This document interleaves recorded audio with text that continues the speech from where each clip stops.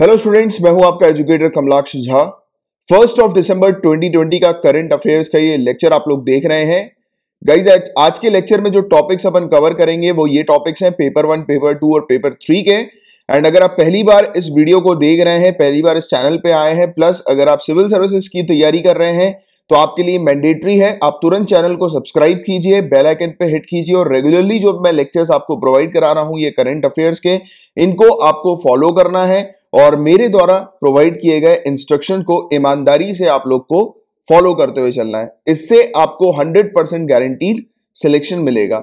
और 100 percent guarantee selection मिलने का जो प्रूफ है, वो भी मैं आपको डिस्क्रिप्शन पर दे रहा हूँ। आप नीचे डिस्क्रिप्शन पर लिंक्स हैं वीडियो की, वो चेक कर लीजिए। प्रूफ वाली लिंक है कि मैंने स्टूडेंट्स को जो पिछले साल पढ़ाया था, पिछले एक साल में जो भी टॉपिक्स कवर कराए थे, उन्हीं से रिलेटेड यूपीएससी सिविल सर्विसेज़ में क्वेश्चंस पूछे गए थे।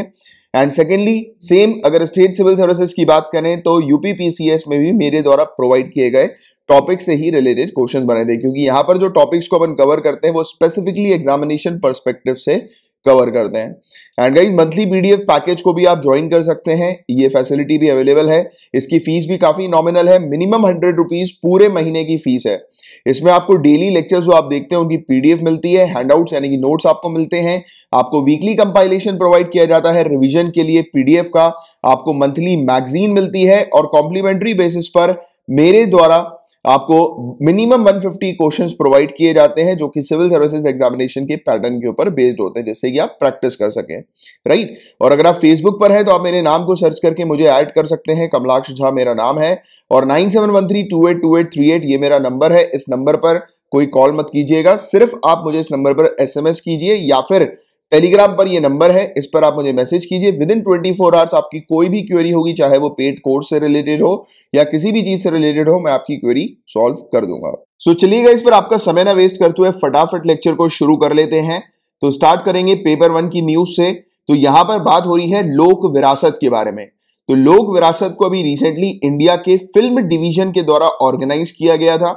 और ये festival of films on folk art and painting है जो मूवीज़ लोक कला और चित्रकला के ऊपर बनती हैं तो उन्हीं का ही यह त्योहार है और इसी प्रकार की मूवी को डिस्प्ले किया जाता है। राइट और जो जो मूवीज़ जो है वो स्ट्रीम की गई हैं उसके बारे में बात करें तो द किंगडम ऑफ़ गॉड ये मूवी जो है वो हमारी कंट्री का जो आर्ट और कल्चर जो है आ, कला और संस्कृति जो हमारी कंट्री की है और ऐसी काफ़ी सारी हमारी कंट्री के जो फोक आर्ट हम लोग को देखने को मिलते हैं लोक कला ट्रेडिशन हम लोग को देखने को मिलते हैं तो उनके ऊपर आधारित ये मूवी है। Right? The kingdom of God. Bhavai की बात करें, ये बहुत इंपॉर्टेंट है, आपसे डायरेक्टली ये चीज़ पूछी जा सकती है कि अभी भवाई रिसेंटली न्यूज़ में थी, क्या है ये? तो देखिए, इस भवाई के ऊपर मूवी बनी है और एक्चुअल में जो भवाई है ना, ये गुजरात की लोक कला है फोक आर्ट है गुजरात की, भवाई। राइट? तो याद रखना, भवाई गुजरात की फोक आर्ट है, लोक कला है। और नमन खेले की बात करें गाइस तो ये एक एंशियंट फोक आर्ट हम लोग को देखने को मिलता है, जो कि महाराष्ट्र रत्नागिरी में परफॉर्म किया जाता है। तो ये वाली चीज़ थोड़ी सी आप याद रखिए कभी कभी match the following choose the correct pair में ऐसे क्वेश्चन बन सकते हैं। आपसे मूवी वगैरह के नाम ना पूछें बट एटलीस्ट लोक कला वगैरह के नाम पूछ लिए गए तो फिर आप अटेंड कर पाओ। राइट तो ये चीज़ थोड़ी सी ध्यान में रखिए और इस प्रकार की चीज़ें जो होती हैं, वो काफ़ी ज़्यादा एग्जामिनेशन में पूछी जाती है स्पेशली प्रिलिम्स के अंदर। और शाही जटा की अगर अपन बात करें तो ये एक फ्यूजन कल्ट है, जिसमें मसल और म्यूज़िक का फ्यूजन हम लोग को देखने को मिलता है। ये एक लोक कला के ऊपर बेस्ड है और इस प्रकार की जो कला है, वो एंशियंट पीरियड में ओडिशा के पुरी में हम लोग को देखने को मिलती थी। पुरी वही जगह है जहाँ पर जगन्नाथ टेंपल हम लोग को नज़र आता है। तो एंशियंट टाइम पे इस प्रकार की कला ओडिशा के अंदर नज़र आती थी। राइट और थेरु कुटू की अगर अपन बात करें तो ये डांसिंग फॉर लाइफ ये एक मूवी है, जो कि age old Tamil folk art, जो तमिल लोक कला है, बहुत पुरानी, उसके ऊपर आधारित हम लोग को देखने को मिली थी। तो ये कुछ मूवीज़ हैं, जिनको स्ट्रीम किया गया था, और इसके बारे में अपन ने जाना, और कुछ इंपॉर्टेंट चीज़ें भी देखी, जो कि डायरेक्टली आपसे सिविल सर्विसेज़ में इस टॉपिक से रिलेटेड पूछी जा सकती है। तो थोड़ा सा ध्यान में रखिएगा। एंड गाइस पेपर वन से रिलेटेड सिर्फ़ एक ही टॉपिक था, अब अपन पेपर टू के टॉपिक्स की तरफ़ आगे बढ़ रहे हैं। तो देखिए इंडिया ने अफ़गानिस्तान के अंदर अनाउंस किया है कि इंडिया डेढ़ प्रोजेक्ट जो है, डेढ़ डेवलपमेंटल प्रोजेक्ट जो है वो अफ़गानिस्तान में सेटअप करने वाली है। और इन प्रोजेक्ट्स की कुल कीमत होने वाली है 80 मिलियन यूएस डॉलर्स तो ये चीज़ यहाँ पर बताई जा रही है गाइज़ और अफ़गानिस्तान की लोकेशन तो आपको ऑलरेडी पता ही है कि अफ़गानिस्तान के बगल में पाकिस्तान है। पाकिस्तान के बगल में हमारी कंट्री है। इवन हमारी कंट्री भी अफ़गानिस्तान के साथ कुछ एरिया जो है वो शेयर करती है। राइट तो ये चीज़ टॉपिक न्यूज़ में है और ये कॉन्फ्रेंस के दौरान हुआ है। कॉन्फ्रेंस का नाम है अफ़गानिस्तान 2020 कॉन्फ्रेंस इस कॉन्फ्रेंस को अटेंड किया गया था अफ़गानिस्तान के प्रेसिडेंट के द्वारा यूनाइटेड नेशन और यूरोपियन यूनियन के ऑफिशियल्स के द्वारा और साथ ही साथ दूसरी कंट्रीज़ के भी रिप्रेजेंटेटिव इस कॉन्फ्रेंस में मौजूद थे। और इसी कॉन्फ्रेंस के दौरान यूनाइटेड स्टेट्स ने डिसाइड किया कि वो अपने सोल्जर्स की प्रेजेंस अफ़गानिस्तान के अंदर ये कम कर देगी, लगभग ढाई हज़ार तक। और ये जनवरी 2021 में ऐसा होने वाला है। तो ये चीज़ यूनाइटेड स्टेट्स ने अनाउंस करी। इस बारे में अपन ने चर्चा भी करी थी, हालाँकि फिर से मैं आप लोग को रिव्यू या रिवाइज करवा देता हूँ। तो देखिए, क्या था कि यूनाइटेड स्टेट्स और तालिबान की एक डील हुई थी। जिस डील में तालिबान ने कहा था कि तालिबान अपनी टेररिस्ट एक्टिविटी जो है वो नहीं करेगी राइट और तालिबान का कहना था कि यूनाइटेड स्टेट्स अपने सोल्जर जो है, यानी कि नाटो की जो फोर्सेज हैं नॉर्थ अटलांटिक ट्रीटी ऑर्गेनाइजेशन की जो फोर्सेज है, वो वापस ले ले। तो ऐसी डील हुई थी। राइट? बट इंडिया को इस डील से खतरा है। क्या खतरा है? तो उस बारे में भी चर्चा करी थी। खतरा यह है कि अगर टेररिस्ट को कंट्रोल करने के लिए ट्रूप सोल्जर्स अगर मौजूद नहीं होंगे अफ़गानिस्तान के अंदर, क्योंकि आप जानते हैं बहुत अच्छे से कि अफ़गानिस्तान टेररिस्ट का गढ़ है। और वहाँ पर अगर ट्रूप्स अवेलेबल नहीं होंगे सोल्जर्स अवेलेबल नहीं होंगे तो ऑब्वियस ही बात है कि ये टेररिस्ट जो है, उनकी एक्टिविटी बढ़ेगी। और ऐसा काफ़ी सारी रिपोर्ट्स ने बताया हुआ है कि तालिबान की एक्टिविटी जो है, वो कम बिल्कुल नहीं हुई है। उल्टा बढ़ती हुई ही नज़र आ रही है। तो इंडिया को ये खतरा है कि ये जो टेररिस्ट हैं, ये इंडिया की तरफ़ भी मूव कर सकते हैं। क्योंकि अभी वो मूव इसलिए नहीं कर पा रहे थे ट्रेसपास इसलिए नहीं हो पा रहा था, क्योंकि वहाँ पर नाटो की फोर्सेज जो थी, वो एक्टिव थी अवेलेबल थी राइट उनको काउंटर करने के लिए। बट अगर वहाँ पर कोई सिक्योरिटी फोर्स नहीं होंगी तो ऑब्वियस ही बात है कि ये जो टेररिस्ट हैं, ये इंडिया की तरफ़ मूव करेंगे।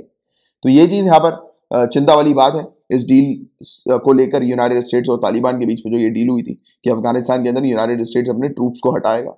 राइट? तो इस पर भी एक आपको अच्छी जानकारी होनी चाहिए। स्पेशली मेन्स परस्पेक्टिव से और आपके पर्सनालिटी टेस्ट परस्पेक्टिव से, यानी कि इंटरव्यू परस्पेक्टिव से।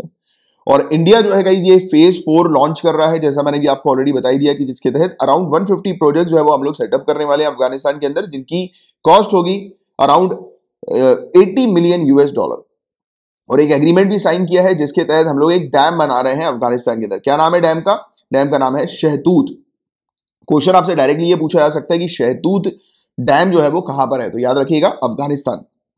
और इस डैम के तहत अफ़गानिस्तान के अंदर जो काबुल शहर है, वहाँ पर लगभग 20 लाख लोगों को सेफ़ ड्रिंकिंग वाटर फैसिलिटी जो है वो प्रोवाइड की जाएगी।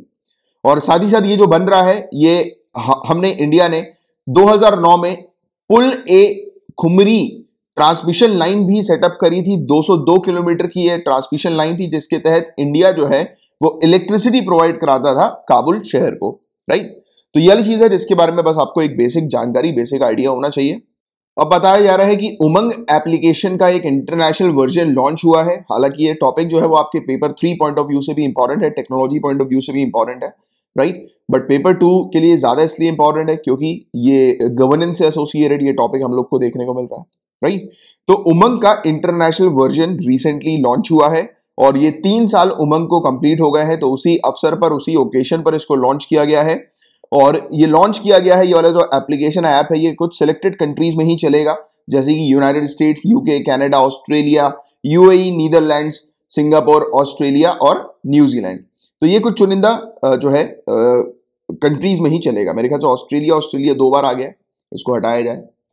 आगे की बात करें तो प्राइमरी मिनिस्ट्री जो है वो इस एप्लीकेशन के पीछे जो है वो आप जानते हैं कि टेक्नोलॉजी से रिलेटेड एप्लीकेशन है तो आईटी मिनिस्ट्री ही हम लोग को देखने को मिलेगी। तो ministry of IT primary ministry है। बट साथ ही साथ मिनिस्ट्री ऑफ़ एक्सटर्नल अफेयर्स भी इसमें शामिल है। तो इन्हीं दोनों ने मिलकर जो है वो इस एप्लीकेशन को लॉन्च किया है। मिनिस्ट्री ऑफ़ एक्सटर्नल अफेयर्स क्यों शामिल है? क्योंकि इंटरनेशनल वर्जन है।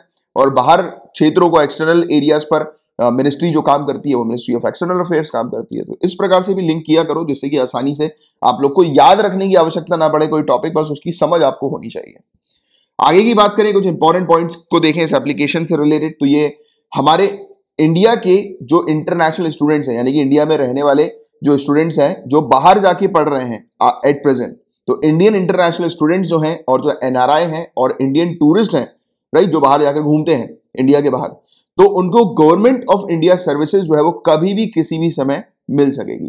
तो ये उमंग ऐप इंडियन गवर्नमेंट की सर्विसेज़ प्रोवाइड कराती है। इस एप्लीकेशन में बहुत सारी सर्विस जो है वो अवेलेबल रहती है, यानी कि एक ही एप्लीकेशन में आपको सरकार की मैक्सिमम जितनी भी सर्विसेज़ जो होती हैं मतलब जितनी भी नहीं मतलब पूरी की पूरी नहीं बट हाँ मोस्ट ऑफ़ द सर्विसेज़ जो है सरकार की इस एप्लीकेशन के थ्रू अवेल कर सकते हैं सिटीजन और ये इंटरनेशनल वर्जन है तो कोई भी इंडिया के बाहर जाते हैं तो इंडिया के बाहर से भी इंडियन सर्विसेज़ को जो है वो अवेल किया जा सकता है इस एप्लीकेशन के थ्रू तो ये वाली चीज़ है और ये हेल्प करेगी इंडिया को पूरे दुनिया भर में, यानी कि इंडिया को एक वर्ल्ड लेवल तक ले जाने के लिए, जिसके चलते हमारे इंडियन कल्चर की सर्विसेज़ जो है वो इस उमंग ऐप पर अवेलेबल की जा रही है, जिसके चलते फॉरेन टूरिस्ट भी इंडिया में विज़िट करने का इंटरेस्ट जो है वो जगाएँगे।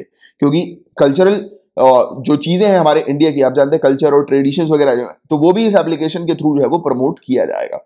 राइट जिससे कि फॉरेन टूरिस्ट जो है वो अट्रैक्ट होकर इंडिया में विज़िट करेंगे। तो टूरिज़्म बढ़ेगा। तो ये चीज़ यहाँ पर बताई जा रही है। उमंग मोबाइल एप्लीकेशन है। उमंग का बेसिकली फुल फॉर्म है unified mobile application for new age governance तो मोबाइल गवर्नेंस की है एम गवर्नेंस की है एप्लीकेशन हम लोग को देखने को मिलती है। Right right? और all in one single multilingual बहुत सारी लैंग्वेज इसमें आपको नज़र आ जाएँगी इस एप्लीकेशन के अंदर। और बहुत सारी सर्विसेज़ जो है वो सरकारी सर्विसेज़ इस एप्लीकेशन के थ्रू आप अवेल कर सकते हैं। और बताया जा रहा है कि ये जो है वो हाई इंपैक्ट सर्विस जो है वो various government of India departments और स्टेट गवर्नमेंट की प्रोवाइड कराती है। इस एप्लीकेशन के थ्रू ना ही सिर्फ़ सेंट्रल गवर्नमेंट की सर्विसेज़ अवेल की जा सकती हैं, बल्कि स्टेट गवर्नमेंट की भी बहुत सारी सर्विसेज़ अवेल की जा सकती हैं। आगे की बात करें तो मोबाइल गवर्नेंस को फास्ट ट्रैक करना ही इसका एक उद्देश्य, इसका एक ऑब्जेक्टिव हम लोग को नज़र आता है। और ये डेवलप किया गया है नेशनल ई गवर्नेंस डिवीज़न के द्वारा, जो कि ministry of electronics and IT के अंदर आती है। और उमंग जो है वो ईज ऑफ़ लिविंग सिटीजन के लिए इनेबल करता है, क्योंकि नॉर्मल सी बात है कि सिटीजन को वेरियस फैसिलिटी जो है वो उनके हाथों पे ही, उनके एक क्लिक पर ही जो है वो मिल जाती है तो ईज ऑफ़ लिविंग है राइट और इजी एक्सेस मिल जाता है इंडियन गवर्नमेंट सर्विसेज़ का, काफ़ी सारी जैसे health care finance education housing energy और भी काफ़ी सारी सर्विसेज़ जो है वो अवेल की जा सकती है। उमंग के की पार्टनर्स की हम लोग बात करें तो EPFO employ provident fund organisation direct benefit transfer scheme departments employ state insurance corporation ministry of health ministry of education agriculture animal husbandry और स्टाफ सिलेक्शन कमीशन एसएससी तो इन सब, सभी जो है, वो की पार्टनर्स हम लोग को नज़र आते हैं उमंग के। ये एक डिजिटल इंडिया इनिशिएटिव है और इसको इवन 2018 में दुबई यूएई में छठी वर्ल्ड गवर्नमेंट समिट चल रही थी तो उस समय इस एप्लीकेशन को best M government services award भी मिला है। तो इसके बारे में बस आपको एक बेसिक जानकारी बेसिक आइडिया जो है वो होना चाहिए। अब गाइस बताया जा रहा है कि ट्रांसजेंडर पर्सन के लिए अभी रिसेंटली एक वेबसाइट एक पोर्टल जो है वो लॉन्च किया गया है। नेशनल पोर्टल लॉन्च किया गया है और ये लॉन्च किया गया है ministry of social justice and empowerment के द्वारा। ये डेवलप किया गया है जब नोटिफिकेशन आया था transgender person protection of rights rules 2020 का, उसके बाद फिर ये जारी किया गया, ये लॉन्च किया गया, ये पोर्टल और ये पोर्टल जो है वो ट्रांसजेंडर पर्सन की मदद करेगा कि ट्रांसजेंडर पर्सन अपना सर्टिफिकेट अपनी आईडी कार्ड जो है वो डिजिटली हमारी कंट्री में कहीं से भी अप्लाई कर सकेंगे।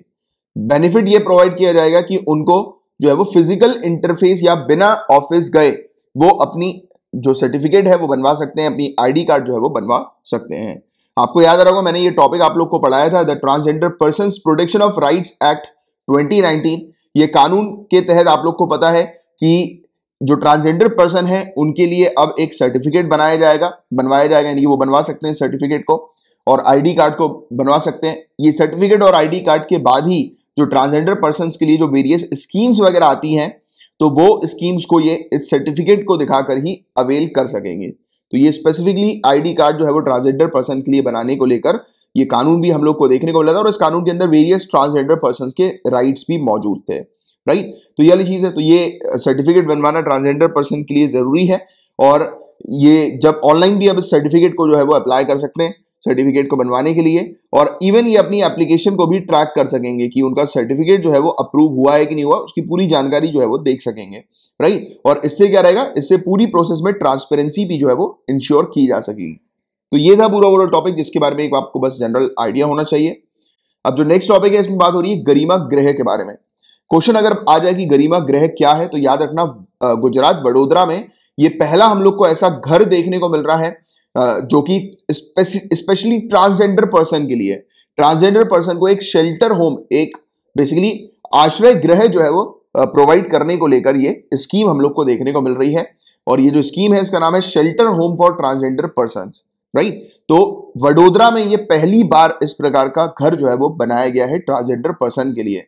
उन लोगों के लिए जो ट्रांसजेंडर, जिन लोगों को फैमिली जो है वो निकाल देती है, खुद ब खुद वो अपने घर से जो है वो चले जाते हैं। मतलब एक्सप्लोइटेशन के चलते, क्योंकि ट्रांसजेंडर के ऊपर एक्सप्लोइटेशन होता है डिस्क्रिमिनेशन होता है तो उसको देखते हुए वो एक अलग जगह जो है वो चले जाते हैं। बट उनको अगर कहीं कोई रहने के लिए घर नहीं मिल रहा है तो सरकार जो है वो अब उनको घर प्रोवाइड करा रही है, जहाँ पर वो आराम से रह सकेंगे और ना ही सिर्फ़ रह सकेंगे, इस घर में उनको स्किल्स वगैरह भी प्रोवाइड की जाएगी। तो स्किल्स ट्रेनिंग भी दी जाएगी, जिसके चलते वो अपने लाइवलीहुड जो है वो मेंटेन कर सकें, यानी कि अपना खर्चा वगैरह जो है वो निकाल सकें इनकम जो है वो जनरेट कर सकें तो स्किल्स भी प्रोवाइड की जाएगी। और इस गरिमा ग्रह के अंदर 25 लोग जो है वो रखे जाएँगे, नहीं एक घर के अंदर 25 लोग रह सकते हैं। और थर्टी मार्च 2021 तक दिल्ली, मुंबई, चेन्नई, पटना, कोलकाता, जयपुर, रायपुर, भुवनेश्वर और मणिपुर यहाँ पर भी इस प्रकार के घर हम लोग को ट्रांसजेंडर्स के लिए देखने को मिलेंगे। और ये जो अभी स्कीम है, ये पायलट बेसिस पर है और इसके सक्सेसफुल कंप्लीशन होने के बाद ये स्कीम हमारी कंट्री के और भी अलग अलग जगह पर देखने को मिलेगी और भी अलग अलग जगह पर इस प्रकार के गरिमा ग्रह देखने को मिलेंगे। यहाँ पर दो चीज़ याद रखना, गरिमा ग्रह क्या होता है वो पूरा मैंने आपको एक्सप्लेन कर दिया। दूसरी और इंपॉर्टेंट चीज़ वो ये है कि वडोदरा, ये प्रिलिम्स में डायरेक्ट आ सकता है कि गुजरात के अंदर पहला ऐसा गरिमा ग्रह हम लोग को देखने को मिला है राइट अब बात करेंगे एक रिपोर्ट के बारे में। नीति आयोग ने एक रिपोर्ट जारी करी है। नेशनल न्यूट्रिशन मिशन के ऊपर बेस्ड ये रिपोर्ट है। राष्ट्रीय पोषण मिशन पर यह रिपोर्ट हम लोग को देखने को मिल रही है। ये रिपोर्ट का जो नाम है वो है accelerating progress on nutrition in India what will it take Bharat में पोषण पर त्वरित प्रगति, राष्ट्रीयता मिशन या पोषण अभियान। तो ये तीसरी रिपोर्ट हम लोग को, तीसरी प्रोग्रेसिव रिपोर्ट हम लोग को देखने को मिल रही है, जो कि नेशनल न्यूट्रिशन मिशन या फिर पोषण अभियान के ऊपर बेस्ड है। इसको अभी रिसेंटली नीति आयोग के द्वारा रिलीज़ किया गया है तो इसी के बारे में डिस्कस करेंगे। रिपोर्ट को देखने से पहले बात करते हैं नेशनल न्यूट्रिशन मिशन के बारे में। तो ये मिशन का इस 2018 में लॉन्च किया गया था। गवर्नमेंट ऑफ़ इंडिया का फ्लैगशिप प्रोग्राम है। फ्लैगशिप यानी कि प्रायोरिटी वाला प्रोग्राम हम लोग को देखने को मिल रहा है। जिसके तहत हमारी कंट्री में जो बच्चे हैं, जो प्रेग्नेंट महिलाएँ हैं, या लैक्टिंग मदर्स लैक्टिंग मदर्स यानी कि जो महिलाएँ अपने बच्चों को फ़ीड करती हैं तो उनमें न्यूट्रिशन की प्रॉब्लम नहीं आनी चाहिए। उन, उनकी जो न्यूट्रिशन की प्रॉब्लम आज की रेट में हमें देखने को मिल रही है उसको खत्म करना है और इंप्रूव करना है। इसके अलावा इसको नीति आयोग के द्वारा प्रोवाइड की गई स्ट्रेटजी का सपोर्ट होता है यानी कि NITI Aayog national nutrition strategy जो है वो प्रिपेयर करती है और इसी स्ट्रेटजी के तहत ये मिशन जो है वो काम करता है। और गोल जो है वो ये है कि 2022 तक इंडिया को मेल न्यूट्रिशन फ्री बनाना है कुपोषण मुक्त भारत जो है वो बनाना है। बहुत इंपॉर्टेंट है याद रखना टारगेट मेंस में भी लिख सकते हो, प्रीलिम्स के लिए भी इंपॉर्टेंट है कि 2022 तक हम न्यूट्रिशन फ्री भारत जो है वो फोकस कर रहे हैं उसके ऊपर कि हमारी कंट्री में किसी को भी माल न्यूट्रिशन से रिलेटेड प्रॉब्लम ना हो राइट कुपोषण मुक्त भारत राइट तो ये चीज़ है। और फोकस किसके ऊपर किया जाता है इस स्कीम के तहत? स्टंटिंग अंडर न्यूट्रिशन और एनीमिया ये जो इशू हम लोग को देखने को मिलते हैं छोटे बच्चों में यंग चिल्ड्रन में, महिलाओं में और एडल्सेंट गर्ल्स में और लो बर्थ के जो इशू होते हैं, यानी कि जब बच्चा न्यूबॉर्न बेबी जो होता है तो उनका जब वेट कम होता है तो उसको ये सब जो प्रॉब्लम्स हैं, इसको घटाते हुए चलना है। दो परसेंट दो परसेंट, तीन परसेंट और दो परसेंट के स्तर पर हर साल। क्योंकि 2018 में ये स्कीम आई थी और 2022 तक की ये स्कीम है। तो 18 से लेकर 22 चार साल तो इस प्रकार से जो है वो घटाते हुए चलना है। साथ ही साथ जो प्रॉब्लम जो माल न्यूट्रिशन की नज़र आती है, हमें देखने को मिलती है राइट? तो उसको खत्म करना है, उसको एड्रेस करना है, कुपोषण की प्रॉब्लम को, और ये मिशन मोड के थ्रू जो है वो किया जाए। तो इस पर ये फोकस करते हैं। मिशन बोर्ड के थ्रू यानी कि छोटे छोटे टारगेट सेटअप किए जाए और उसके अकॉर्डिंग अलग अलग स्कीम्स लाई जाए अलग अलग प्रोग्राम्स लाए जाए, जिसके चलते माल न्यूट्रिशन की प्रॉब्लम को रिजोल्व किया जा सके। पचास परसेंट टोटल बजट इसका जो होता है वो वर्ल्ड बैंक से आता है या फिर दूसरे मल्टी मल्टीलेटरल डेवलपमेंट बैंक से आता है, और जो रिमेनिंग पचास परसेंट जो पैसा होता है, वो सेंटर के बजटरी सपोर्ट के थ्रू मिलता है। बट सेंटर का जो बजटरी सपोर्ट है, वो फर्दर डिवाइड होता है सिक्सटी फोर्टी में, यानी कि साठ परसेंट सेंटर की तरफ़ से पैसा जाता है और चालीस परसेंट स्टेट गवर्नमेंट पैसा देती है। बट अगर बात हो रही है हिमालयन स्टेट की या फिर नॉर्थ ईस्टर्न स्टेट की तो उस कंडीशन में नब्बे परसेंट पैसा सेंटर देती है, दस परसेंट स्टेट देती है। राइट और अगर यूनियन टेरिटरी की बात हो रही है, जहाँ पर लेजिस्लेचर नहीं है तो वहाँ पर पूरा हंड्रेड परसेंट जो पैसा है फंडिंग है, वो सेंटर की तरफ़ से आती है। और हमारे यहाँ जो इशू जो हम लोग को देखने को मिलता है वो ये है कि हमारी कंट्री में जो पाँच साल से कम की उम्र के जो बच्चे हैं, उनमें वन थर्ड बच्चे जो हैं, उनको स्टंटिंग और वास्टिंग का इशू है। तो देखो, इसके बारे में तो पहले भी अपन कई बार रिपोर्ट्स में डिस्कस कर चुके हैं। इस चीज़ को आप मेंस में डेफिनेटली लिखिएगा कि इंडिया के अंदर जो छोटे बच्चे हैं, उनमें स्टंटिंग और वास्टिंग की प्रॉब्लम सबसे ज़्यादा और उसमें भी सबसे ज़्यादा जो प्रॉब्लम है वो है वास्टिंग की। तो ये स्टंटिंग वास्टिंग ये पूरी चीज़ क्या होती है तो उसको इस फ़ोटो के थ्रू समझो। इजी तरीके से समझ में आ जाएगा। इसको ले लो आप नॉर्मल कि ये नॉर्मल बच्चा है। अब जो वास्टेड बच्चा जो होता है, वो हमें क्या देखने को मिलता है? इस प्रकार का। हाइट तो उसकी बराबर है बट वो देखो आप बॉडी वेट जो है, उसका हम लोग को कम नज़र आ रहा है बॉडी मास राइट कम हम लोग को दिखाई दे रहा है। और स्टंट यानी कि जिसकी हाइट छोटी होती है। और वास्टेड और स्टैंडिंग की प्रॉब्लम जो दोनों है बच्चों में तो उनकी हाइट भी कम रहेगी और उनकी बॉडी जो होगी, वो थोड़ी थिन भी हम लोग को नज़र आएगी। तो ये चीज़ें, ये थोड़ा सा याद रखिएगा और इस फिगर के थ्रू याद रखना आसान होता है तो इसलिए फिगर मैं आप लोग को हमेशा दिखाता हूँ। राइट? तो इसके थ्रू थोड़ा सा याद रखने की कोशिश किया करें। और 40 परसेंट बच्चे हमारी कंट्री में जिनकी उम्र एक से लेकर चार साल की है, उनमें एनीमिया की प्रॉब्लम भी नज़र आती है। और 50 परसेंट से ज़्यादा महिला और जो जो प्रेग्नेंट है और जो नॉन प्रेग्नेंट महिला है 50 परसेंट ज़्यादा, उनमें एनीमिया की प्रॉब्लम हम लोग को देखने को मिलती है। और ये पूरा डेटा जो है वो मिला है national family health survey four के तहत, जो कि रिलीज़ हुई थी 2016 में। अब बात करते हैं इस रिपोर्ट के बारे में, जो ये थर्ड प्रोग्रेसिव रिपोर्ट आई है, उसके बारे में अब स्पेसिफिकली बात करते हैं कि इसमें क्या क्या चीज़ें सामने नज़र आई। तो अक्टूबर 2019 से लेकर अप्रैल 2020 तक का पूरा डेटा जो है वो यहाँ पर रखा गया। और ये डेटा जो पूरा मिला है वो N H N F H S four और कॉम्प्रीहेंसिव नेशनल न्यूट्रिशन सर्वे के तहत मिला है। एन एफ़ एच एस यानी कि नेशनल फैमिली हेल्थ सर्वे तो इसका डेटा जो है इसको कलेक्ट करके ये पूरा जो रिपोर्ट जो है वो तैयार की गई है। और रिपोर्ट में बताया जा रहा है कि हमारी कंट्री के अंदर जो न्यूट्रिशन, यानी कि न्यूट्रिशन की प्रॉब्लम जो आज की रेट में देखने को मिल रही है, यानी कि माल न्यूट्रिशन, कुपोषण की जो प्रॉब्लम है और एनीमिया से रिलेटेड जो प्रॉब्लम है और इस जो पोषण अभियान जो हम लोग को देखने को मिलता है, नेशनल न्यूट्रिशन मिशन तो इस मिशन को इंप्लीमेंट होने में क्या क्या चैलेंजेस देखने को मिल रहा है। राइट यानी कि क्या वजह है जिसके कारण ये मिशन जो है वो प्रॉपर तरीके से इंप्लीमेंट नहीं हो पा रहा है? क्या क्या चुनौतियाँ इस मिशन के सामने आ रही है? तो उसके स्टेटस को देखा गया इस पर्टिकुलर रिपोर्ट के अंदर और लार, लार्ज स्केल डेटा सेट के थ्रू ये चीज़ सामने रखी गई पाई गई। तो इनिशियल रिपोर्ट जो आई थी रिपोर्ट वन और रिपोर्ट टू क्योंकि ये रिपोर्ट थर्ड है तो उसमें मेनली फोकस किया गया था कि कौन सी कौन सी राज्य और कौन सी कौन सी यूनियन टेरिटरी जो है वो कितनी प्रिपेयर्ड है नेशनल न्यूट्रिशन मिशन को लेकर। राइट अब इस रिपोर्ट के अंदर तो ये चीज़ बताई जा रही है कि इंप्लीमेंटेशन पे क्या क्या प्रॉब्लम्स नज़र आ रही है, देखने को मिल रही है। तो रिव्यू रिपोर्ट जो है, वो ड्राफ्ट की गई थी मार्च 2020 में बट उसके अंदर पॉवर्टी का जो इशू है, यानी कि क्या वजह है, गरीबी की फैक्टर क्या है इसमें तो जो कि वर्सनिंग पॉवर्टी की, यानी कि जो गरीबी जो कम होती हुई जा रही है तो उसको यहाँ पर रिकॉर्ड नहीं किया गया था, और फिर उसके बाद आप जानते हैं कि मार्च के समय पे लॉकडाउन हो गया था कोरोना वायरस आ गया था कोरोना वायरस अटैक देखने को मिला था तो यहाँ पर यही चीज़ कही जा रही है कि ऑलरेडी हम लोग के पास प्रॉपर डेटा था नहीं, और अब वो डेटा जो है वो और भी ज़्यादा खराब हो जाएगा क्योंकि जो पॉवर्टी का लेवल जो है वो बिकॉज़ ऑफ़ कोरोना वायरस वो और फर्दर डाउन जो है वो हो चुका होगा। यानी कि और हम लोग जो है वो ज़्यादा वर्सनिंग पॉवर्टी में जो है वो जा चुके होंगे। तो ये चीज़ यहाँ पर बताई जा रही है। और जो कंसर्न जो चिंताएँ जो सामने रखी गई, वो ये रखी गई कि इंडिया के जो टारगेट्स हैं वो कंजर्वेटिव हैं। रूढ़ीवादी टारगेट्स इंडिया के हैं। अगर हम लोग ग्लोबल टारगेट्स की बात करें, जो वर्ल्ड हेल्थ असेंबली के द्वारा डिफाइन किए गए थे, जिसमें फाइव परसेंट स्टंटिंग जो है वो उसको रिड्यूस करना था और इंडिया का जो गोल है स्टंटिंग लेवल को रिड्यूस करने का वो 2022 तक अप टू 13.3 परसेंट है। यानी कि कुल मिलाकर ये चीज़ यहाँ पर बताई जा रही है कि जिस प्रकार से काम चल रहा है और जिस प्रकार से हमने टारगेट सेट किए हैं, उसको अगर अचीव करना है तो सिर्फ़ इस नेशनल न्यूट्रिशन मिशन के थ्रू काम नहीं होगा, उसमें और भी प्रोग्राम्स और भी पॉलिसीज़ और भी नई नई चीज़ें जो है वो इंक्लूड करनी होगी टारगेट्स को अचीव करने के लिए। राइट? और एनीमिया की प्रॉब्लम्स की अगर अपन बात करें तो इसमें 2022 तक 50 परसेंट से जो कि प्रॉब्लम जो 50 50.3 परसेंट जो प्रॉब्लम थी एनीमिया की, राइट? तो उस, जो प्रेग्नेंट वुमेन के अमंग तो उस इशू को रिड्यूस करके 2022 तक चार सालों में 34.4 परसेंट पर लेकर आना है। और जो एडल्सेंट जो बच्चियाँ हैं, जो 2016 में 52.9 परसेंट जो जो एडल्सेंट जो गर्ल्स थी जिनमें एनीमिया का इशू था तो उसको घटाकर 39.66 परसेंट तक लेकर आए तो ये भी कहा गया कि ये सब भी टारगेट जो है वो कंजर्वेटिव बताए जा रहे हैं as compare to world health assembly के टारगेट राइट तो ये चीज़ हम लोग को नज़र आ रही है। और पेंडेमिक के समय पर एक्सपर्ट्स ने वार्निंग दी है कि पॉवर्टी और हंगर जैसा मैंने भी आपको थोड़ी देर पहले बताया था कि वो और भी ज़्यादा जो है वो डीप हम लोग को नज़र आएगा, यानी कि और भी ज़्यादा पॉवर्टी और हंगर के केसेस भूखमरी के और गरीबी के केसेस जो है वो इंडिया में बढ़ते हुए नज़र आएँगे, कोरोना वायरस के चलते। तो ये चीज़ यहाँ पर बताई गई है।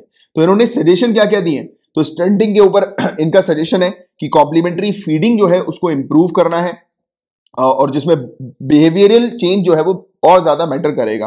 और कॉम्प्लीमेंट्री फ़ूड सप्लीमेंट्स जो है वो इंटीग्रेटेड चाइल्ड डेवलपमेंट सर्विसेज़ के थ्रू जो है वो प्रोवाइड किया जाए। यानी कि बच्चों को न्यूट्रिशियस फ़ूड जो है वो मिल सके, जिसके चलते स्टंटिंग का इशू जो है वो इंडिया में बढ़ता हुआ ना हो, हम लोग इसको कंट्रोल कर सकें। और साथ ही साथ इन्वेस्टमेंट करना है बच्चियों के ऊपर और महिलाओं के ऊपर स्पेशली उनके एजुकेशन के ऊपर। ड्यूरिंग चाइल्डहुड बचपन में उनको जो है वो एजुकेशन मिल सके। अर्ली मैरिज जो है वो रिड्यूस करनी है अर्ली प्रेगनेंसी को रिड्यूस करना है और इंप्रूव करना है कि प्रेगनेंसी के समय पर और प्रेगनेंसी के बाद उनको प्रॉपर ट्रीटमेंट प्रॉपर केयर जो है वो मिल सके। राइट और साथ ही साथ दूसरे सोशल डिटर्मिनेंट्स पर भी फोकस करना है। इंप्रूव करना है water sanitation hand washing with soap hygienic disposal of children's stool और भी दूसरे इफ़ेक्टिव इंटरवेंशन के ऊपर। तो मेनली देखो यहाँ पर सिर्फ़ न्यूट्रिशन के ऊपर ही फोकस नहीं है न्यूट्रिशन तो प्रोवाइड कराना ही कराना है बट साथ ही साथ दूसरे जो बिहेवियरियल चेंज है, उस पर भी इंप्रूवमेंट लेकर आने नहीं कि चेंजेस लेकर आने कि वो सामने वाले व्यक्ति जो है अपने बिहेवियर को चेंज करें, कि वो एक हाइजेनिक स्पेस पर रहें। क्योंकि हाइजेनिक स्पेस पर नहीं रहेंगे तो ऑलरेडी वो काफ़ी सारी बीमारियों से ऑलरेडी घिरे रहेंगे तो न्यूट्रिशन का रोल उतना प्ले हो ही नहीं पाएगा क्योंकि वो ऑलरेडी फिर अफेक्टेड होंगे वेरियस डिज़ीज़ से।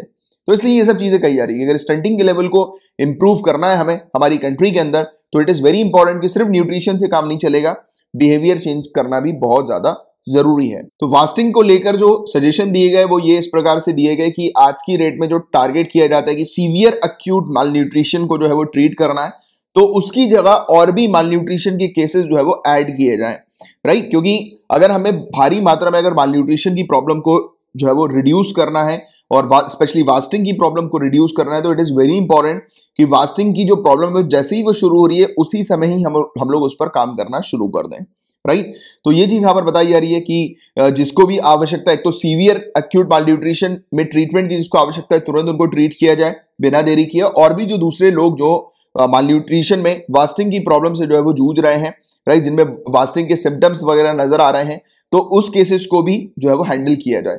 तो ये वाली चीज़ यहाँ पर बताई जा रही है। तो इस प्रकार की पूरी स्ट्रेटेजी जो है वो माल न्यूट्रिशन के प्रिवेंशन की स्पेशली वास्टिंग के प्रिवेंशन की जो है वो तैयार करके लाई जाए और एनीमिया के केस में भी यही चीज़ बताई जा रही है कि एक सेपरेट जो है वो यूनिट होनी चाहिए, एक सेपरेट डिपार्टमेंट होना चाहिए जो स्पेसिफिकली एनीमिया के केसेस के साथ डील कर सके।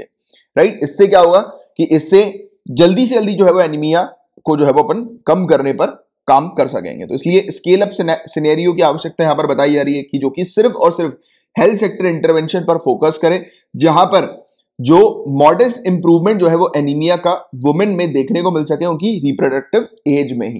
तो ये चीज़ यहाँ पर बताई जा रही है। तो प्रॉपर मैनेजमेंट पर इन्होंने फोकस किया है कि अगर हम लोग को मतलब टारगेट्स वगैरह को अचीव करना है तो हमें एक तो कैपेसिटी को बढ़ाना पड़ेगा और प्रॉपर तरीके से मैनेज करना पड़ेगा टारगेट्स को ध्यान में रखते हुए। राइट तो ये चीज़ यहाँ पर बताई जा रही है। और आगे की राह की अगर हम लोग बात करें वे फॉरवर्ड की अगर हम बात करें तो देखिए नेशनल न्यूट्रिशन मिशन जो है, वो एक इंपॉर्टेंट रोल प्ले करता है माल न्यूट्रिशन को रोकने में राइट और इंडिया जो है, उसको आवश्यकता है कि इंडिया जो है, वो और भी दूसरे एक्शन जो है, वो लेकर आए, और भी दूसरी, वही मैंने आपको बताया कि मतलब सिर्फ़ नेशनल न्यूट्रिशन मिशन जो है, वो उससे टारगेट्स अब अचीव नहीं हो पाएँगे। हाँ वो इंपॉर्टेंट रोल प्ले करता है, वो बात अलग है बट हमें और भी चीज़ें जो है वो अनाउंस करनी होगी। तो ये अल्टीमेटली चीज़ जो है वो यहाँ पर इस रिपोर्ट के थ्रू देखने को मिली है, बताई गई है। तो ये सिंपल सी चीज़ है, जिसके बारे में बस आप लोग को एक जनरल आइडिया होना चाहिए। गाइज़ अब जो ये वाला टॉपिक है, इस टॉपिक में कुछ काम की चीज़ें हैं जिसको अपन डिस्कस करेंगे। जैसे कि आपके एग्जामिनेशन परस्पेक्टिव से आपको जानना ज़रूरी है कि जुडिशियल एक्टिविज्म क्या होता है।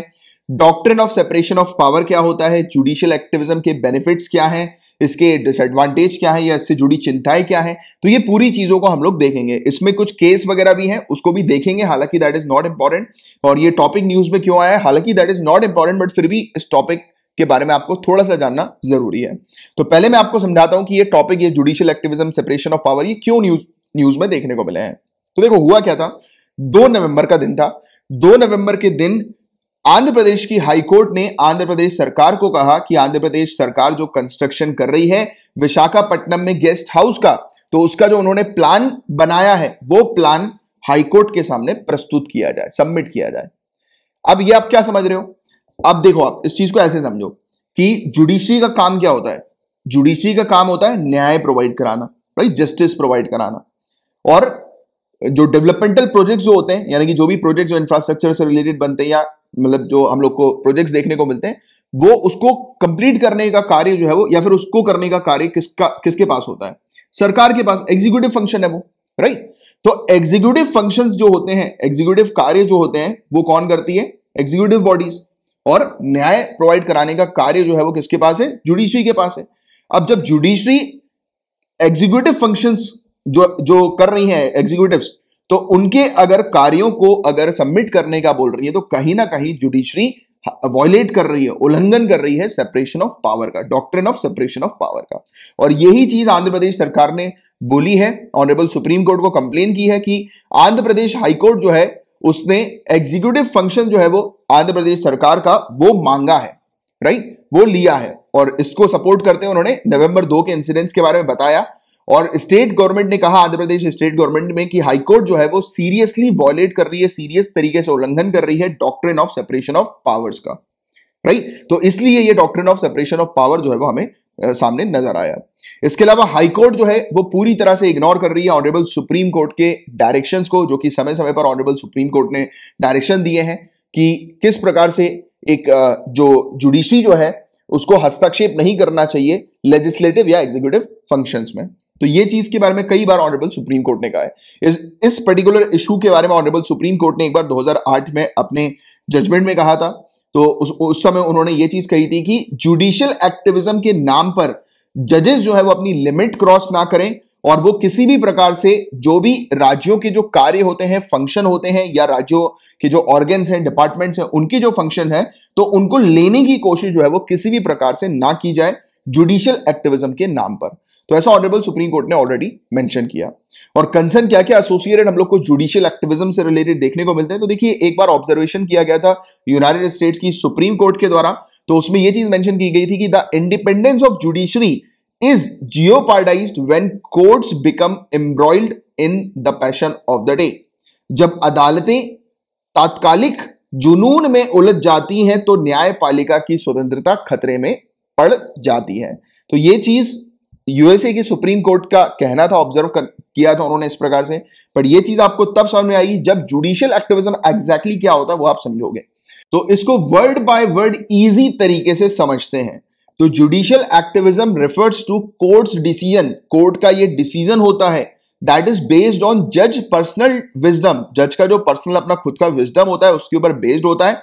That do not go rigidly within the text of statutory pass by legislature जो पार्लियामेंट होती है, जो लेजिस्लेटिव बॉडी होती है, जो वो कानून जो बनाती है पास करती है तो उस कानून के ऊपर आधारित जब जज का डिसीज़न नहीं होता है, उसके बाहर का होता है आउट ऑफ़ द बॉक्स होता है तो उस चीज़ को जुडिशियल एक्टिविज्म कहा जाता है। और इस प्रकार की पावर जो है, ये रेमिडीज प्रोवाइड कराने के लिए होती है, यानी कि जो भी लोग जो है, जो न्याय लेने के लिए आए हैं ऑनरेबल सुप्रीम कोर्ट के पास तो उनको न्याय प्रोवाइड कराने के लिए प्रॉपर जस्टिस इंश्योर करने के लिए होती है। और इजी तरीके से मैं आपको समझाता हूँ। जैसे आपने कई बार न्यूज़ सुनी होगी कि ऑनरेबल सुप्रीम कोर्ट ने पार्लियामेंट के फलाना रूल्स को या इस कानून को जो है वो नल एंड वॉइड डिक्लेयर कर दिया। Right right? या फिर कई बार हम देखते हैं कि ऑनरेबल सुप्रीम कोर्ट जो है वो हस्तक्षेप करती है। जैसे कि एयर क्वालिटी के मामले भी आपने देखा होगा कई बार। या क्रैकर्स वगैरह की अगर अपन बात करें कि पॉल्यूशन लेवल जो है वो हाई हो जाएगा। Right right? तो ये सब चीज़ें में जब जुडिशरी अपना हस्तक्षेप करती है क्योंकि आपने देखा होगा ना कि ऑनरेबल सुप्रीम कोर्ट ने ये गाइडलाइन जारी करी कि जो है वो फटाखे जो है वो आपसे अब तक नहीं फोड़े जाएँगे या फिर फटाके नहीं फोड़े जाएँगे पोल्यूशन नहीं किया जाएगा। तो ऐसी जब गाइडलाइंस जब ऑनरेबल सुप्रीम कोर्ट जारी करते है और आप जानते हैं कि ये सब गाइडलाइंस जारी करने का कार्य किसके पास होता है? सरकार के पास होता है। बट जिस समय पर सरकार जो है वो एक्शन नहीं लेती तो उस समय जुडिशरी एक्शन लेती है मतलब जनहित के लिए, लोगों के हित के लिए राइट पब्लिक के हित के लिए पब्लिक के बेनिफिट के लिए और पब्लिक को न्याय मिल पाए, इसलिए कई बार ऑनरेबल सुप्रीम कोर्ट जो है वो काफ़ी सारे रूल्स रेगुलेशन को नल एंड वॉइड तक डिक्लेयर कर देती है लेजिस्लेचर के पार्लियामेंट के।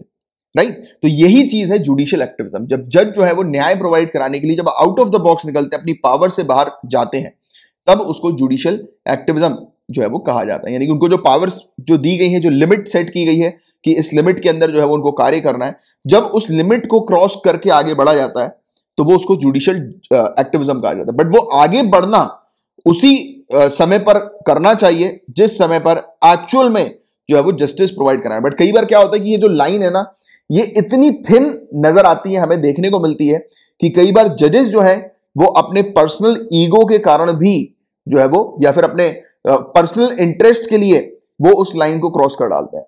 तो ये वाली चीज़ है, और इस चीज़ पर रोक लगाने के लिए ऑनरेबल सुप्रीम कोर्ट कई बार जो है वो कहती है बट फिर भी ऐसे इश्यूज़ जो है, ऐसे केसेस हम लोग को देखने को मिलते हैं। तो एग्जामिनेशन परस्पेक्टिव से जुडिशियल एक्टिविज्म क्या होता है, इसको आपको समझना बहुत ज़्यादा ज़रूरी था। राइट अब doctrine of separation of power की भी बात कर लें, क्योंकि जुडिशियल एक्टिविज्म में क्या होता है? सेपरेशन ऑफ़ पावर जो जो डॉक्ट्रिन जो मेंशनड है सेपरेशन ऑफ़ पावर के कि जुडिशरी का रोल अलग होगा एग्जीक्यूटिव का अलग होगा लेजिस्लेटिव का अलग होगा तो ये जो पावर्स को जो सेपरेट किया है तो इस सेपरेशन ऑफ़ पावर का उल्लंघन ही एक्चुअल में जुडिशियल एक्टिविज्म का हम लोग को देखने को मिलता है। जब भी जुडिशियल एक्टिविज्म अप्लाई होती है, तब उस समय doctrine of separation of power का उल्लंघन होता है। बट हाँ जब जुडिशियल एक्टिविज्म अप्लाई हो रही है, लोगों को न्याय प्रोवाइड कराने के लिए, जनहित के लिए, जनता के हित के लिए, जनता के बेनिफिट के लिए, तब उस समय जो है वो ठीक माना जाता है। और बहुत अच्छा माना जाता है कि जुडिशरी जो है, इसलिए तो लोग जुडिशरी के ऊपर ट्रस्ट करते हैं कि जुडिशरी जो है, वो आउट ऑफ़ द बॉक्स जाकर भी लोगों को न्याय प्रोवाइड कराती है। बट कई केसेस में जो है वो इसका उल्टा ही हो जाता है। कई केसेस में फिर इश्यूज़ होने लगते हैं जुडिशरी और सरकार के बीच में राइट तो ये वाली चीज़ है। तो doctrine of separation of power ये एग्जैक्टली है क्या? तो हमारे इंडियन कॉन्स्टिट्यूशन के अंदर काफ़ी सारे प्रावधान, काफ़ी सारे प्रोविजंस ऐसे हम लोग को देखने को मिलते हैं, जिसमें क्लियरली डिफाइन किया गया है कि लेजिस्लेटिव और जुडिशरी के क्या क्या फ़ंक्शंस होंगे और किस प्रकार से वो अपनी इंडिपेंडेंस जो है वो मेंटेन करेंगे, अपनी फंक्शनिंग करते हुए, अपने कार्यों को करते हुए। तो आर्टिकल 121 और आर्टिकल 211 के अंदर ये चीज़ मेंशन है। तो इसमें बताया हुआ है कि पार्लियामेंट यानी कि लेजिस्लेचर जो हम लोग को देखने को मिलते हैं तो पार्लियामेंट के अंदर आप जानते हैं कि डिस्कशन होता है राइट तो पार्लियामेंट के अंदर किसी भी प्रकार से एक जज के कंडक्ट का या उसके जो ड्यूटीज़ है, वो जज डिस्चार्ज कर रहे हैं, अपने फ़ंक्शंस कर रहे हैं तो उसके बारे में डिस्कशन नहीं किया जाएगा। इस पर रोक लगाई जाती है। क्यों रोक लगाई जाती है? देखो, आप इस बात को तो डेफिनेटली मानेंगे मानेंगे कि राजनीति के अंदर हम लोग को क्या देखने को मिलता है? एक दूसरे के ऊपर कीचड़ उछाली जाती है। तो पार्लियामेंट के अंदर भी यही होता है कि रूलिंग पार्टी अपोजिशन के ऊपर अपोजिशन पार्टी रूलिंग के ऊपर। तो ऐसी चीज़ हम लोग को नज़र आती है। उस बीच अगर किसी जज के एक्ट को डिस्कस किया जाएगा तो कहीं ना कहीं से हम लोग को यह चीज़ भी देखने को मिलेगी कि जो जजेस हैं उनके बारे में अगर चीज़ें उठाई जाएँगी, उनके प्रोवाइड किए गए जजमेंट जो है उसके, उसको चैलेंज किया जाएगा पार्लियामेंट के अंदर। और आप जानते हैं कि वहाँ पर कई बार जो है वो चीज़ें जो है वो काफ़ी खराब भी हो सकती हैं। और जब ये पूरी चीज़ लाइव टेलीकास्ट होगी तो हमारे जो लोग हैं, जनता जो है, उनका ट्रस्ट जो है वो जुडिशरी के ऊपर से थोड़ा सा घटता हुआ नज़र आएगा। तो इस चीज़ पर रोक लगाने के लिए आर्टिकल 121 और 211 लाया गया था। और आर्टिकल 122 और 212 के अंदर क्या मेंशन था कि यहाँ पर कोर्ट को प्रिवेंट किया जाता है। यहाँ पर जुडिशरी को प्रिवेंट किया जाता है। जो जज जो सिटिंग जज जो हम लोग को देखने को मिलते हैं, जब वो अपना जजमेंट देते हैं तो वो अपना जजमेंट लेजिस्लेचर की इंटरनल प्रोसीडिंग के ऊपर ना दें। तो लेजिस्लेचर की इंटरनल जो प्रोसीड जैसे आपने देखा होगा, काफ़ी सारे ऐसे केसेस हम लोग को देखने को मिलते हैं, जिसमें पार्लियामेंट की इंटरनल प्रोसीडिंग हम लोग को नज़र आती है। कि पार्लियामेंट जो है वो इंटरनली कमिटी जो है वो बिठाकर डिस्कशन करती है वेरियस चीज़ों के बारे में। तो उस बीच ऑनरेबल सुप्रीम कोर्ट या जुडिशरी जो है वो वहाँ पर उनकी इंटरनल प्रोसीडिंग में किसी प्रकार से हस्तक्षेप ना करे। तो ये सेपरेट किया गया। इसके अलावा आर्टिकल 105 क्लॉज टू और आर्टिकल 194 क्लॉज टू के अंदर प्रोटेक्शन दी गई लेजिस्लेचर को कि अगर लेजिस्लेचर अब मतलब कुछ भी अगर बोल रहे हैं पार्लियामेंट के अंदर जैसे कि फ्रीडम ऑफ़ स्पीच और फ्रीडम ऑफ़ वोट के रिगार्ड्स में अगर किसी भी चीज़ के बारे में अगर वो मेंशन कर रहे हैं तो उस चीज़ पर कार्रवाई जो है वो कोर्ट के द्वारा ना की जाए। कोर्ट उस चीज़ पर किसी प्रकार से इंटरफेरेंस ना करे। तो ये चीज़ हम लोग को यहाँ पर देखने को मिलती है। तो ये क्या किया? पावर्स को सेपरेट किया कि लेजिस्लेटिव के कुछ अलग अलग पावर्स हैं जो उसको लेजिस्लेटिव को आ, करना पड़ेगा यानी कि लेजिस्लेचर को करना पड़ेगा और जुडिशरी का अलग है और एग्जीक्यूटिव का अलग है। तो ये क्या करता है? सेपरेशन ऑफ़ पावर डॉक्ट्रिन ये सेपरेट करती है सभी की स्पेसिफिक पावर्स को कि कोई भी एक दूसरे के ऊपर हस्तक्षेप नहीं करेगा। बट हाँ इसमें एक चीज़ और भी आप लोग को नज़र आती है कि एग्जीक्यूटिव और लेजिस्लेटिव जो होती है वो आपस में हम लोग को हालाँकि वो सेपरेट है बट हाँ काफ़ी सारे फ़ंक्शन जो है वो एग्जीक्यूटिव के वो हम लोग को देखने को मिलता है कि लेजिस्लेटिव बॉडी जो है वो उसके ऊपर इंपोज करती है। तो एग्जीक्यूटिव जो है वो लेजिस्लेटिव के अंडर नीचे हम लोग को नज़र आती है राइट काफ़ी सारे केसेस में बट हालाँकि उनकी पावर जो है वो टोटली डिफरेंट हम लोग को नज़र आती है। तो इस, इसी चीज़ को सेपरेशन ऑफ़ पावर कहा जाता है। और इन सब चीज़ों के बेनिफिट्स क्या होते हैं गाइस तो देखो चेक एंड बैलेंस का सिस्टम ये प्रोवाइड कराती हैं। ये चेक करती हैं कि एक दूसरे के ऊपर मॉनिटर करती हैं कि कहीं कोई, जैसे कि अभी अपन ने थोड़ी देर पहले ही चर्चा करी कि अगर पार्लियामेंट जो है वो अगर कुछ ऐसे रूल्स रेगुलेशन नियम या कानून बनाती है जिसके तहत लोगों को फ़ायदा नहीं हो रहा हो या फिर किसी एक particular section of the society का फ़ायदा नहीं हो रहा हो तो उसको नल एंड बॉय डिक्लेयर करती है जुडिशरी यानी कि क्या कर रही है? क्रॉस चेक कर रही है कि भाई वो कैसे कार्य कर रहे हैं, क्या काम कर रहे हैं, उसके ऊपर निगरानी रखी जाती है क्रॉस चेक किया जाता है। इसके अलावा सोल्यूशन निकालने के लिए नए नए इनोवेशन जो है वो लाए जाते हैं। यानी कि रेमिडीज वगैरह प्रोवाइड कराने के लिए किसी को, यानी कि किसी की कोई शिकायत है राइट तो उसको रिजोल्व करना है। तो उसको रिजोल्व करने के लिए इनोवेटिव तरीके जो है वो लाए जाते हैं। अगर कानून बनाया हुआ है तो उस कानून के अंदर एक एक्स्ट्रा प्रोविज़न ऐड करने के लिए कह दिया जाता है, अगर किसी को न्याय प्रोवाइड कराना है। वाकई में अगर वो सामने वाला इंसान जो है वो उसको न्याय नहीं मिल पा रहा हो या फिर उसको कोई लॉस हो रहा हो तो। तो उस केस में ऐसी चीज़ें भी लाई जाती है इनोवेटिव सोल्यूशन जो है वो लाए जाते हैं।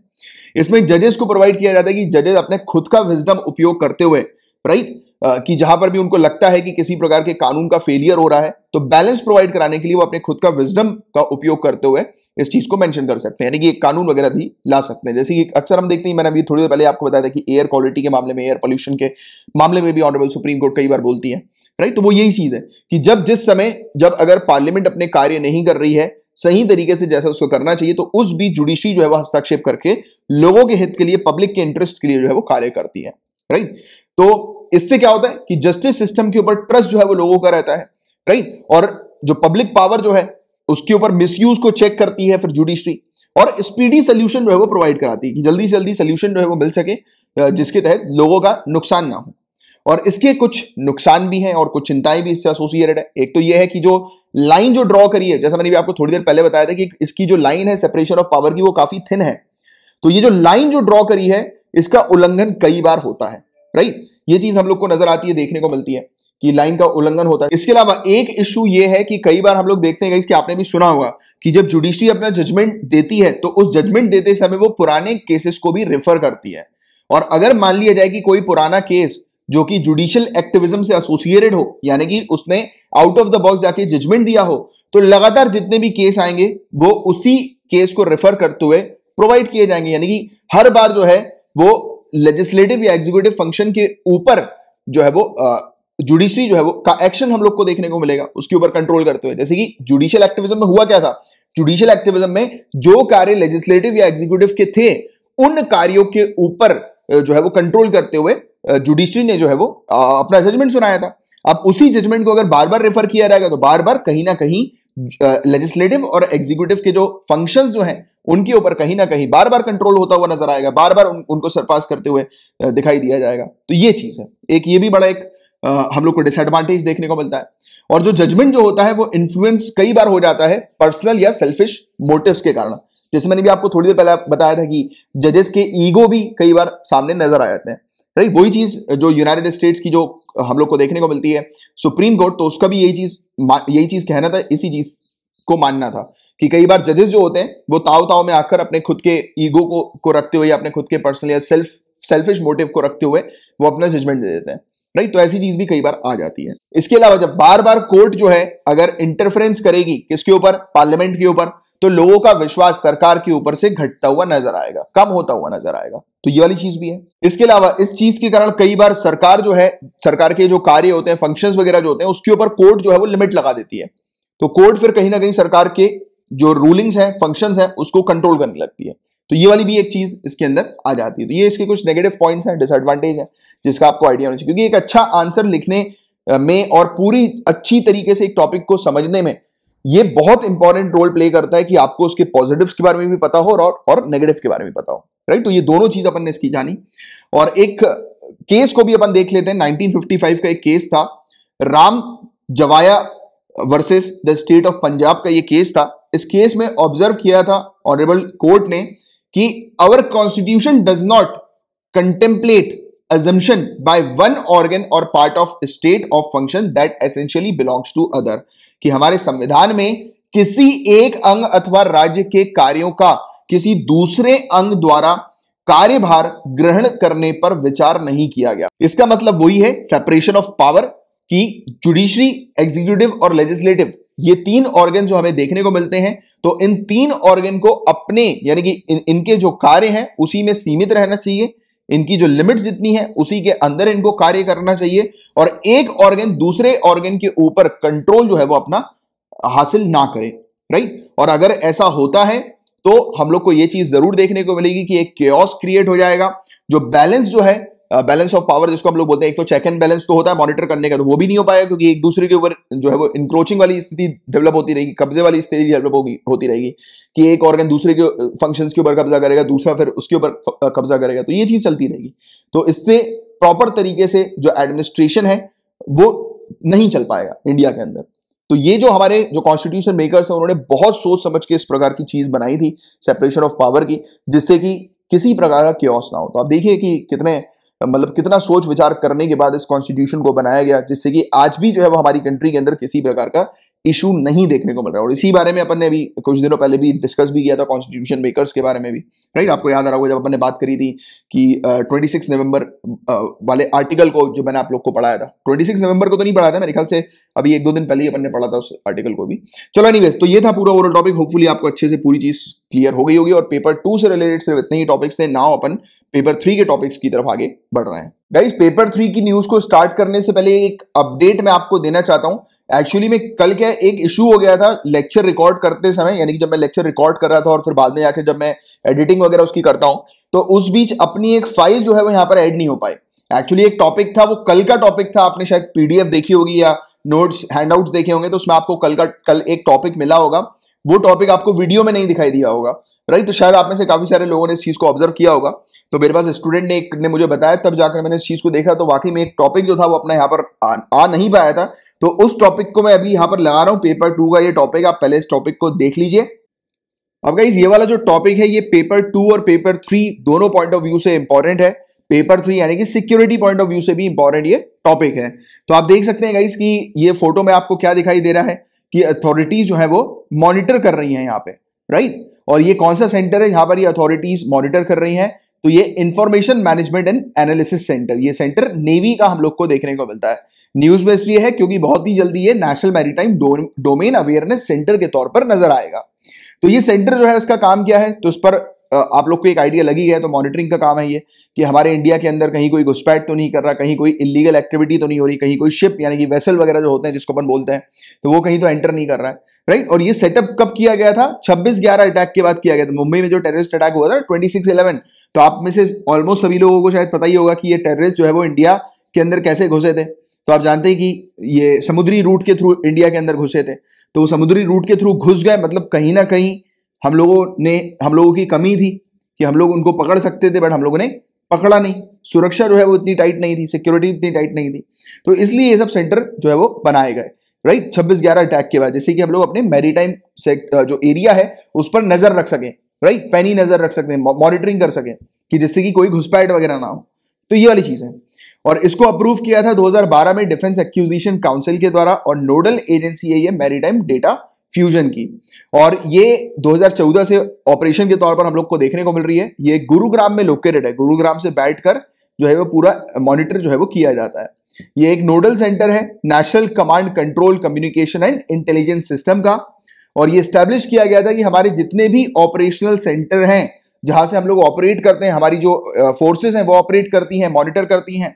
और जो लोअर एचिलियंस हम लोग को नेवी का देखने को मिलता है तो ये लोअर एचिलियन एचिलियन का मतलब क्या होता है? यूनिट्स होती हैं। तो लोअर यूनिट्स जो है, जिनके ऑपरेशनल सेंटर्स हम लोग को नज़र आते हैं, नेवी के तो उनको सबको ये लिंक करके रखती है, एक साथ। यानी कि एक ही सेंटर से बैठकर, यानी कि एक ही जगह से बैठकर हमारी कंट्री में हर एक एक्टिविटी को जो है वो रिकॉर्ड किया जा सकता है। जो कि हमारे जो ऑपरेशनल सेंटर जो हम लोग को देखने को मिलता है अलग अलग जगह पर रीजनल जगह पर तो वो पूरा डेटा जो है वो यहाँ पर शेयर करते हैं। यहीं से बैठकर पूरी चीज़ जो है वो मॉनिटर की जा सकती है। तो ये इंटेलिजेंस परस्पेक्टिव से काफ़ी अच्छा है राइट मॉनिटरिंग परस्पेक्टिव से काफ़ी अच्छा है। तो ये ये एक सेंटर हम लोग को इस प्रकार का नज़र आ रहा है, जिसके बारे में आपको एक जनरल आइडिया होना चाहिए। एंड अब पेपर थ्री की न्यूज़ से स्टार्ट करते हैं। बट गई स्टार्ट करने से पहले एक और चीज़ भी मैं आपको बताना चाहूँगा, जैसे आप जानते हैं कि आज का लेक्चर बहुत लेट आपको मिल रहा है। वैसे तो मैं कोशिश मेरी पूरी रहती है कि अर्ली मॉर्निंग में आप लोग को लेक्चर प्रोवाइड करा दूँ। आज डिले होने की वजह भी मैं आपको बता देता हूँ कि एक्चुअली क्या होता है कि हर महीने के पहले और दूसरा दिन जो होता है, मेरे लिए थोड़ा सा डिफ़िकल्ट हो जाता है टाइमिंग को मैनेज करने के मामले में। क्योंकि पहले और दूसरे दिन में मुझे पूरी मैगजीन वगैरह का भी अरेंजमेंट करना होता है, पूरी चीज़, कि जो मैं आप लोग को मैगजीन प्रोवाइड कराता हूँ पेड पैकेज के अंदर। इसके अलावा पेड पैकेज के जो स्टूडेंट्स हैं, उनका एडमिशन आता है तो फिर उनको जो है वो इनरोल करना होता है ऐड करना होता है पेड पैकेज के अंदर। राइट तो वो इस, इसलिए थोड़ा सा टाइम जो है वो ज़्यादा लग जाता है। बट एक मेरी छोटी सी रिक्वेस्ट है अगर आप लोग कर पाओ तो बहुत अच्छी बात है वरना फिर कोई दिक्कत नहीं मैं मैनेज कर लूँगा।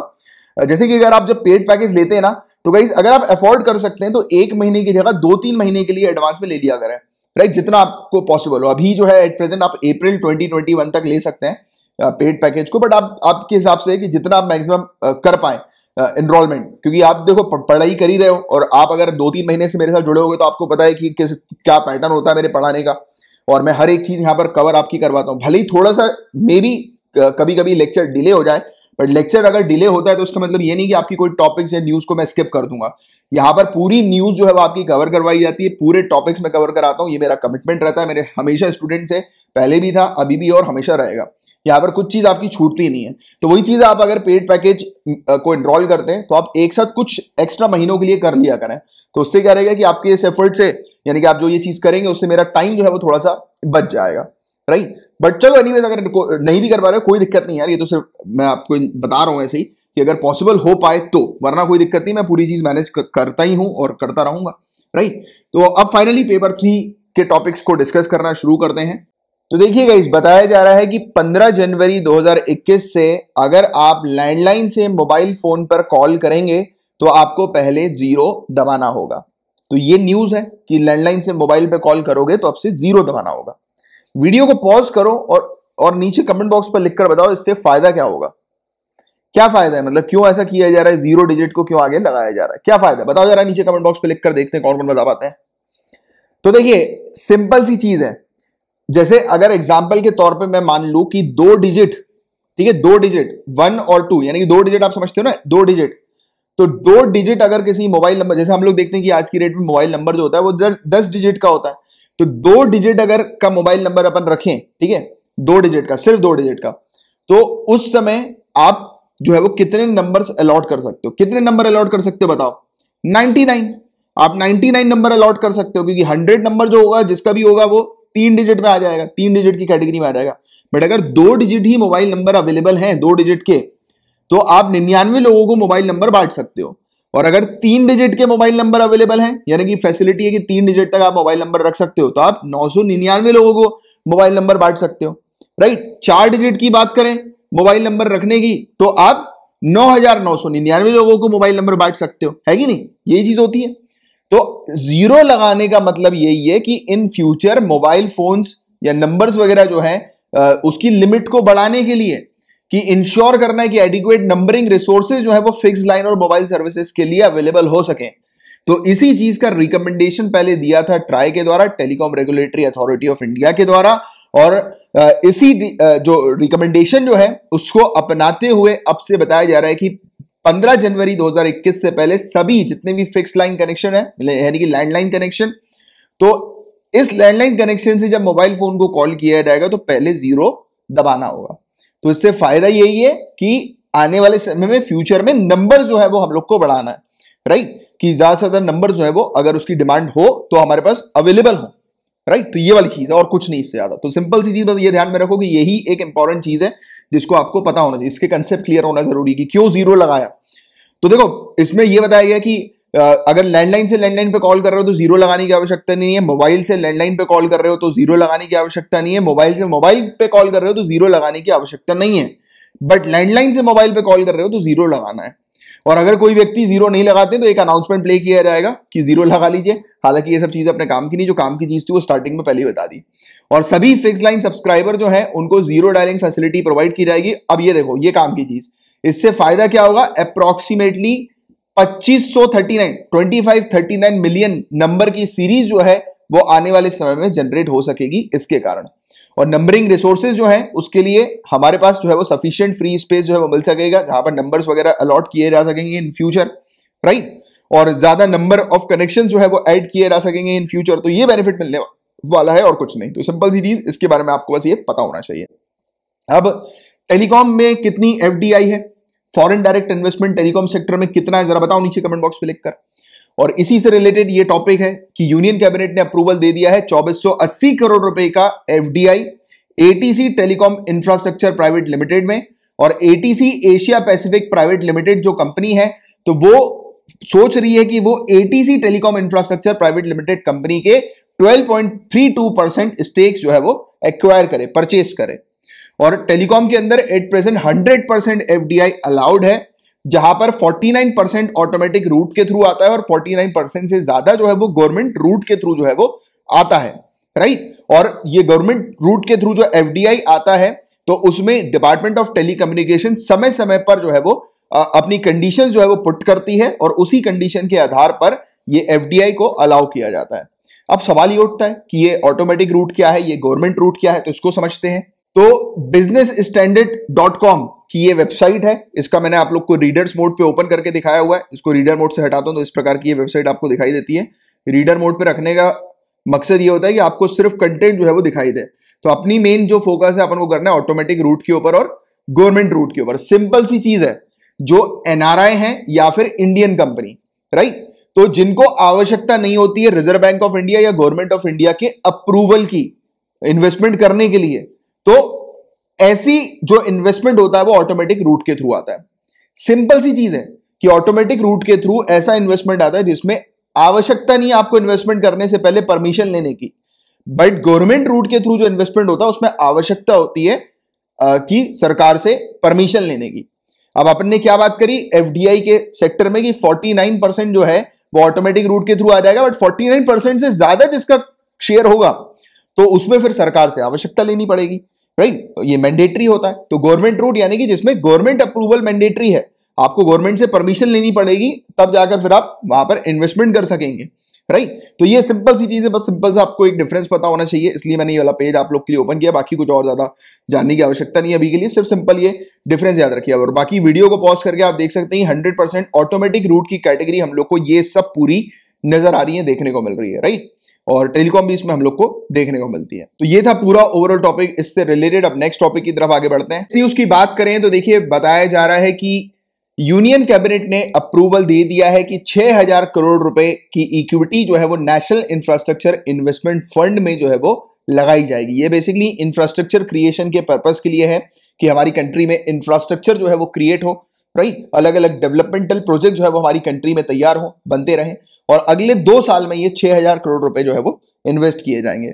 और इसी करंट फाइनेंशियल ईयर में दो हज़ार करोड़ रुपए जो है वो इस फंड में डाले जा रहे हैं और एन डेट प्लेटफॉर्म जो है उसको स्पॉन्सर किया जाता है national investment and infrastructure fund के द्वारा और इसी के अंदर काफ़ी सारे फंड्स होते हैं।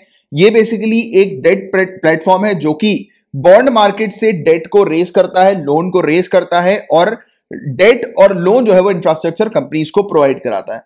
अब ये है क्या? इसको इजी तरीके से मैं आपको समझाता हूँ। थ्योरी तो आप समझ चुके हो।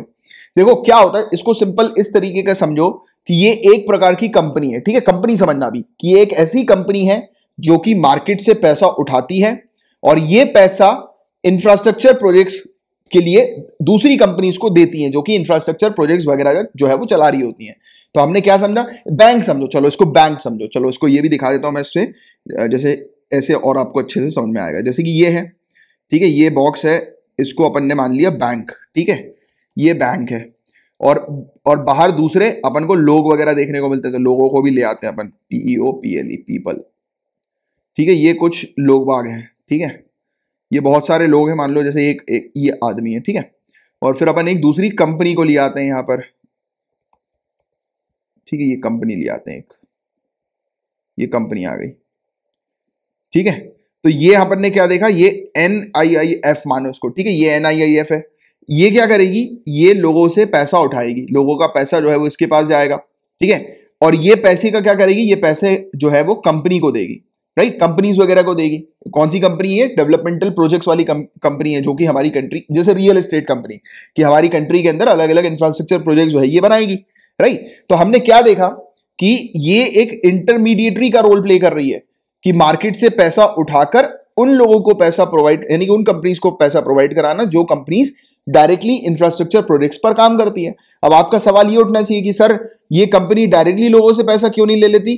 क्योंकि इन कंपनीज़ के ऊपर ट्रस्ट नहीं किया जाता लोगों के द्वारा। लोगों को लगता है कि ये कंपनी जो है वो फेल हो जाएगी। इससे जो भी लोग इस कंपनी में इन्वेस्टमेंट करेंगे उनका पैसा जो है वो डूब जाएगा। तो इसलिए ये इंटरमीडिएट का एक रोल प्ले करती है, जहाँ पर मार्केट से पैसे उठाने का काम इसका होता है राइट डेट वगैरह का काम इसका होता है, और फिर ये जो पैसा है लोन जो है, वो ऑफ़र करती है कंपनीज़ को, और उसके बीच का डिफरेंस जो होता है, वो उसका कमीशन के तौर पर भी हम लोग को नज़र आता है राइट तो इससे इसका भी बेनिफिट होता है कंपनी का जिसके तहत इसके पैसों से इसके एम्प्लॉयज़ वगैरह जो है उनकी सैलरी वगैरह निकल सके। तो ये वाली चीज़ है।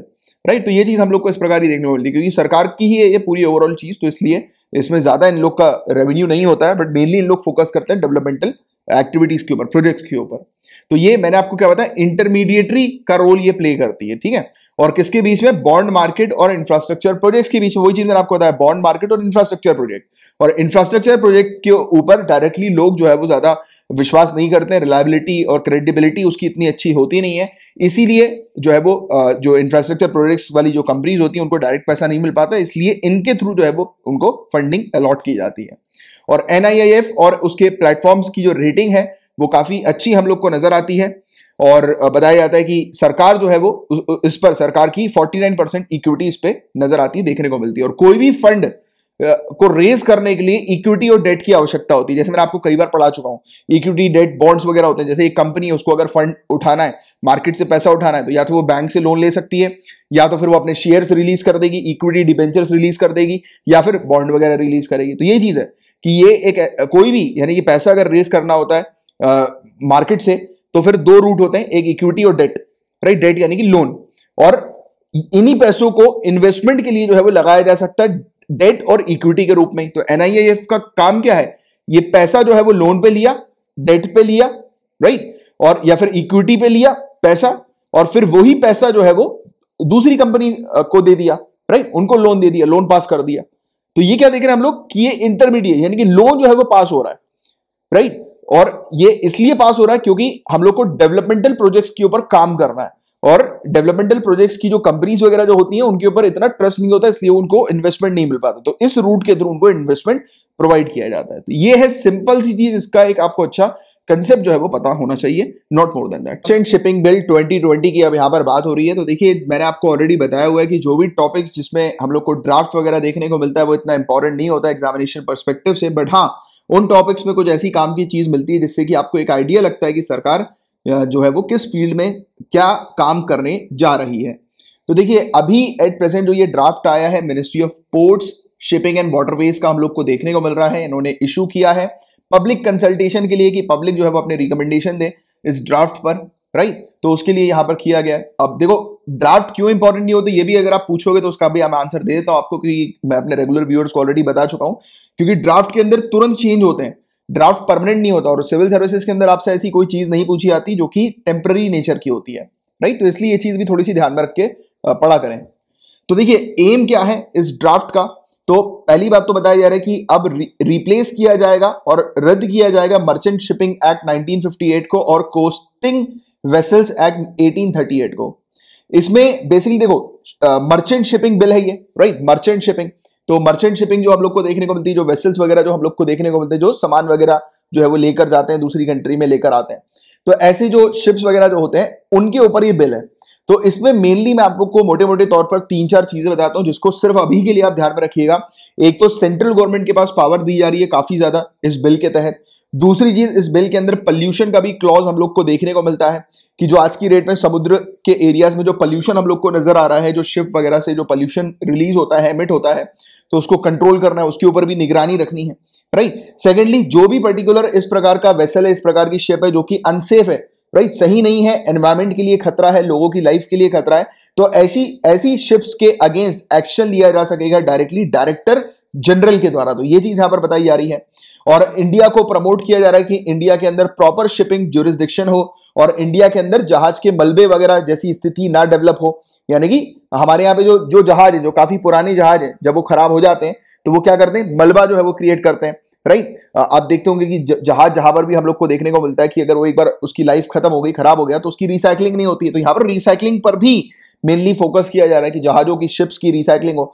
आपको शायद याद आ रहा होगा, मैंने आपको अक्टूबर या सितंबर मंथ में आपको ये शिप रिसाइकलिंग के बारे में पढ़ाया था उसमें अपन ने काफ़ी सारे इंटरनेशनल क्लॉज कन्वेंशन वगैरह भी देखे थे राइट तो ये वाली चीज़ है कि इंडिया के अंदर रिसाइकलिंग को जो है वो बढ़ावा देना है प्रमोट करना है राइट और इंडिया के अंदर एक legal framework statutory legal framework जो है वो लाया जाए, और पहली बार इस प्रकार का हम लोग इंट्रोड्यूस करेंगे जहाँ पर इंडिया के अंदर प्रॉपर शिपिंग को लेकर मर्चेंट शिपिंग को लेकर ज्यूरिस्डिक्शन भी होगा। यानी कि केसेस वगैरह भी जो है वो इंडिया के अंदर हम लोग को देखने को मिल सकेंगे कि अगर आ, कोई भी कंपनी का कोई केस है केस चल रहा है या कोई भी इशू है तो फिर वो प्रॉपर तरीके से उसको डील किया जा सके। प्रॉपर लीगल या स्टैचुटरी फ्रेमवर्क के तहत। तो ये चीज़ यहाँ पर बताई जा रही है। और इंडिया का टनेज यानी कि इंडिया के अंदर ज़्यादा से ज़्यादा हम लोग शिप्स का शिप्स की बिल्डिंग पर इन्वॉल्व करें डेवलपमेंट करें और साथ ही साथ जो है वो रिसाइकलिंग पर भी फोकस करें। और एक वेसल को ट्रेडेबल एसेट बनाना कि इंडिया से हमारे वेसल्स वगैरह जो है वो ट्रेड हो सके। राइट शिप्स जो है वो हम लोग दूसरी कंट्री को प्रोवाइड करा सकें। तो इस पर हम लोग मेनली टारगेट करते हुए आगे बढ़ने पर फोकस कर रहे हैं।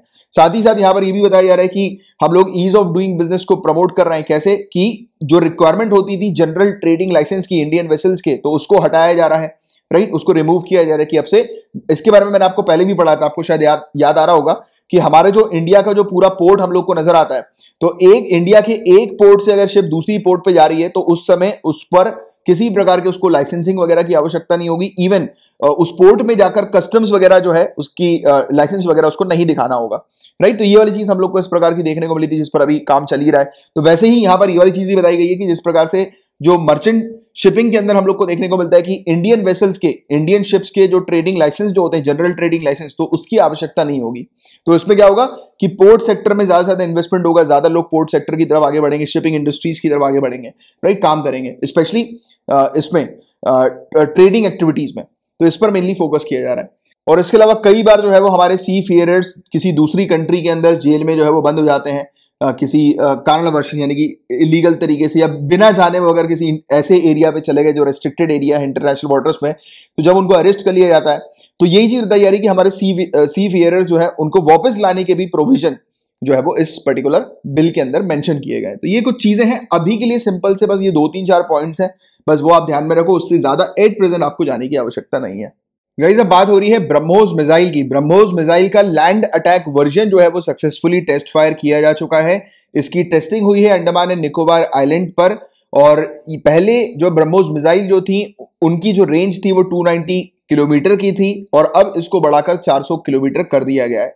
इस मिसाइल की जो स्पीड है 2.8 मार्क इसकी स्पीड हम लोग को देखने को मिल रही है, जो कि जो साउंड की स्पीड है, उससे तीन गुना लगभग ज़्यादा बताई जा रही है। और ये टेस्ट जो कंडक्ट किया गया है, वो टॉप अटैक कॉन्फ़िगरेशन पर कंडक्ट किया गया है। टॉप अटैक मोड में होता क्या है? तो इस टॉप अटैक मोड में मिसाइल पहले ऊपर की तरफ़ जाती है राइट एक ऊपर जाती है बिल्कुल सीधे, यानी कि हवा पे ऊपर आसमान की तरफ़ मिसाइल जाती है। ये देखो ऐसे, ये आसमान की तरफ़ ऊपर सीधे जा रही है। फिर एक हाइट पे जाने के बाद ये मूव करती है, जैसे प्लेन सीधे सीधे चलता है ना तो वैसा ही ये मूव करती है, जाती है, एक डिस्टेंस को ट्रैवल करती है और डिस्टेंस को ट्रैवल करने के बाद ये अपने टारगेट के सर के ऊपर आकर गिरती है राइट तो ये टॉप अटैक मोड होता है। और डायरेक्ट अटैक मोड में क्या होता है कि मिसाइल जो है वो लोअर एल्टीट्यूड यानी कि ज़्यादा ऊंचाई पे नहीं चलती है और डायरेक्ट अपने टारगेट को हिट करती है। तो ये वाली चीज़ है जिसके बारे में बस आपको एक सिंपल सी जानकारी होनी चाहिए। ब्रह्मोस मिसाइल का लैंड अटैक वर्जन जो है वो सक्सेसफुली लॉन्च किया गया है। टेस्ट फायर इसका हम लोग को देखने को मिला है। और ये था आपका आज का लास्ट टॉपिक और गाइज़ मैंने आपको जितने भी टॉपिक्स पढ़ाए हैं, अगर आपको अच्छे से क्लियर हो गए हैं तो लाइक का बटन हिट किए बिना मत जाइएगा। चैनल को अभी तक आपने सब्सक्राइब नहीं किया तो कर लीजिए, बेल आइकन पे भी ज़रूर हिट कीजिएगा और शेयर गाइज़ ज़रूर कर दीजिएगा आपके सोशल मीडिया पे इस लेक्चर को। एंड गाइज़ अगर आपको मंथली पीडीएफ पेड पैकेज को एनरोल करना है तो आप इनरोल कर सकते हैं। इसकी fees minimum hundred rupees per month की है, जहाँ पर आपको बहुत सारी फैसिलिटीज़ मिलती हैं। जैसे कि डेली लेक्चर्स की पीडीएफ प्लस हैंडआउट्स यानी कि नोट्स आपको प्रोवाइड किए जाते हैं। वीकली कंपाइलेशन आपको प्रोवाइड किया जाता है पीडीएफ का, यानी कि रिवीजन पर्पज के लिए ये होता है। मंथली मैगजीन आपको प्रोवाइड की जाती है और कॉम्प्लीमेंट्री बेसिस पर मिनिमम 150 क्वेश्चंस आपको प्रोवाइड किए जाते हैं। सिविल सर्विसेज़ एग्जामिनेशन के पैटर्न के ऊपर बेस्ड ये क्वेश्चंस होते हैं आपकी प्रैक्टिस के लिए। और ये पेड पैकेज से रिलेटेड अगर आपको सैंपल देखना है तो नीचे डिस्क्रिप्शन पर पूरी सैंपल की लिंक है। आप देख सकते हैं कि कैसे पेड पैकेज होते हैं और उस पर किस प्रकार से आपको मटेरियल मिलता है। और अगर अभी तक आपने एनसीईआरटी पेड पैकेज को ज्वाइन नहीं किया है तो ज़रूर ज्वाइन कीजिए। NCERT self study cum test series program है वो।